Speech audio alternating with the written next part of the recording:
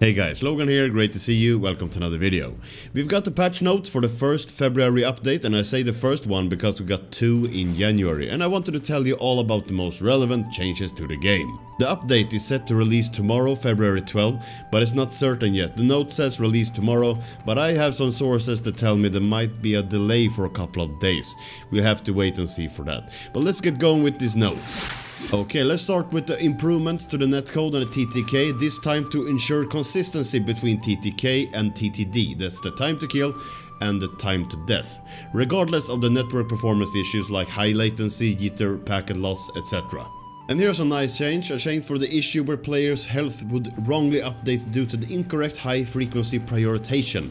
This would commonly happen if you were a lot of players in the area. This issue could present itself when, for example, players tried to heal themselves but no health was applied when the health pouch was used. I've noticed this issue a lot lately and it's nice to have it fixed. Some improvements to the HUD health updates when taking damage, making it easy for you to quicker know where the damage come from. Okay, let's get over to gadgets and weapons. The spawn beacon are getting a lot of changes. Now it should be smoother to put down a beacon on surfaces and you can no longer place it underwater.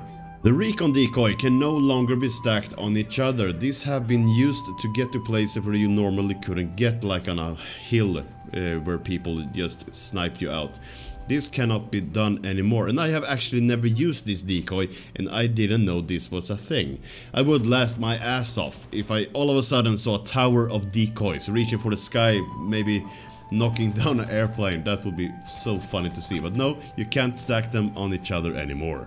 And a fix, a really nice fix for the reinforcement bug, which caused half the screen to turn black when you try to aim it this should be fixed now. So a nice fix for when you wanna call in a V1 or a JB2.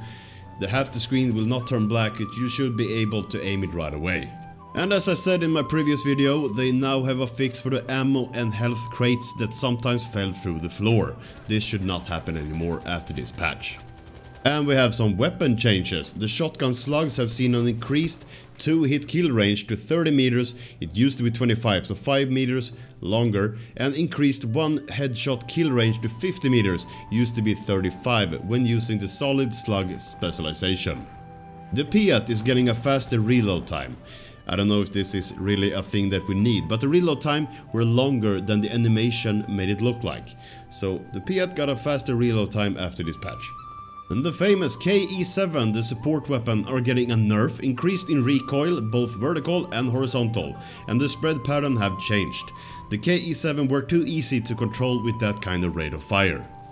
The Turner SMLE now have a reduced damage to 40 when it used to be 45 and the same for the M1944, reduced damage to 40 and the range at which one head and one body shot is lethal to 30 meters, it used to be 35.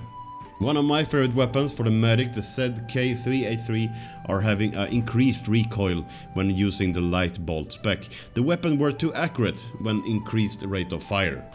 And the feature and spec you can use, the bayonet, have changed to work more like in Battlefield 1 with a higher sprint speed. I never equipped the bayonet in this game, I didn't like it in Battlefield 1 but yes, now it works like in Battlefield 1 so that's, I don't know, that's kind of a good thing I, I think. And a lot of small fixes are being made on the maps, and I will not bring up all of them, but the fixes are for example not to get stuck in different places on maps or floating stationary weapons, that, those kind of fixes. And as always, multiple crash fixes and stability improvements, that's always good. Uh, but I will leave the link to the patch notes down below if you want to check all the smaller fixes. My feeling about this patch is it's like it's very needed. Uh, a lot of smaller fixes that many players are leaving feedback on. That's good. They, they listen to the community. No major changes, no no big changes, but a lot of smaller, much needed ones. That's a huge step in the right direction in my book. But that's all for this video. I leave the link to the patch notes if you'd like to read them yourself. Thank you so much for watching. Make sure to subscribe, click the notification bell, leave a like and don't forget to leave your comment down below. I hope to see you all in my next video. This is Logan, signing out.